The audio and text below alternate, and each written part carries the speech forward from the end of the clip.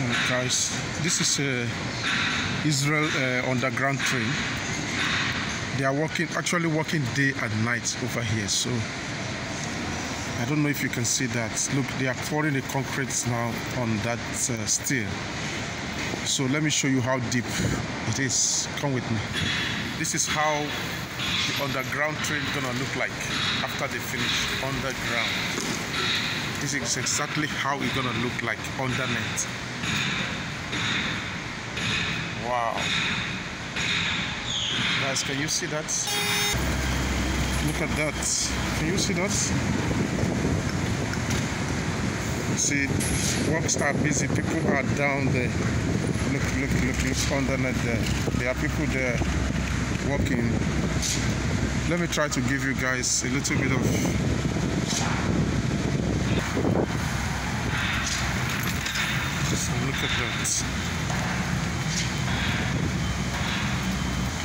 Oh, they, they actually block this space. This is where I, I wanted to. They, they blocked that bridge. There was a bridge over there. So this is how the train gonna look like. Can you see that? They are working 24 hours. As you can see from the inside, look at the trucks. They are working 247. Let me find a space to. Okay. Okay. Okay.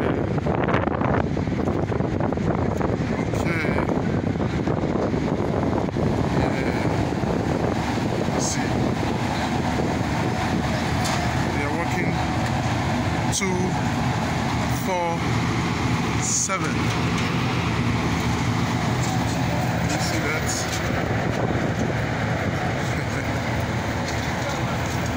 wow.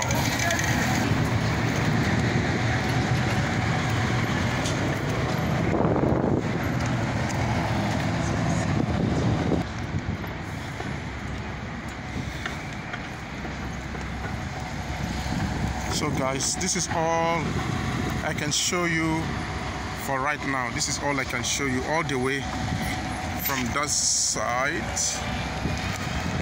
down the train the the tunnel is going down down and down to nowhere i don't know throughout the eh, throughout the country i think slowly guy and look at that you see the tunnel can you guys see the tunnels let me just be sure can you see that